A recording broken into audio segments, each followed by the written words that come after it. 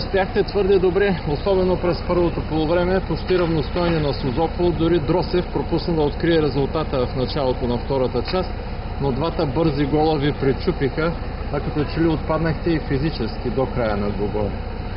Ами, доволен съм от а, първото по време. Бих казал много доволен на този етап, че, както знаете, много млади момчета и много нови момчета в движение привлякахме. Трудно се гради отбор. И а, градим отбора в Движение. такива движение в а, условия, които не са много подходящи. Хем за мачови да мислим, а, хем а, отбора да сглобяваме тактически.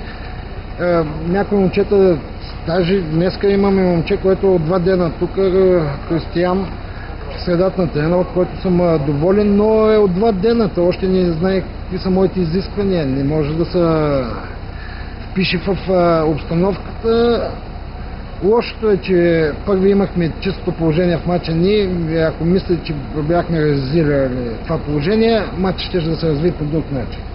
А за физическата подготовка не съм сигурен, защото видях в 90-та минута пробиви по 70 метра от моите футболисти, които са подготвени.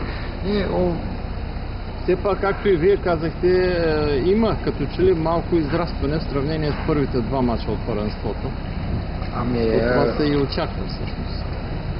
Принцип а, израстването не е малко, а е доста. Днеска видях а, да се загатват идеите, които прилагам на тренировки и които иска отбора да реализира на матчове. Видях ги.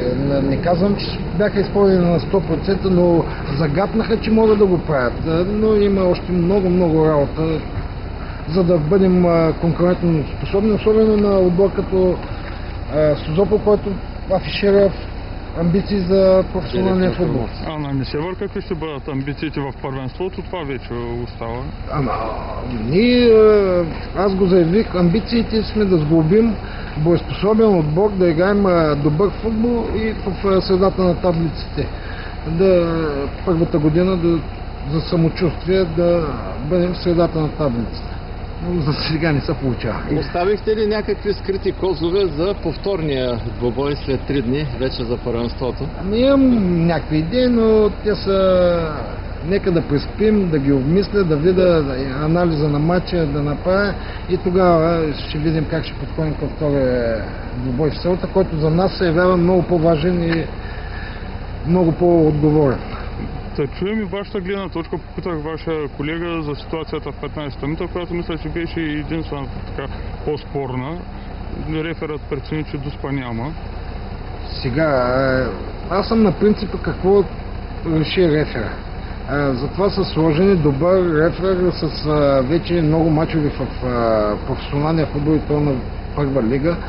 А, Дали е имало дуспа, дали нямало, мога да кажа, че имаше докосване ръката на нашия състезател, но пък а, мисля, че това беше след като бяха вече скочили във въздуха и телата им нямаше как да реагират.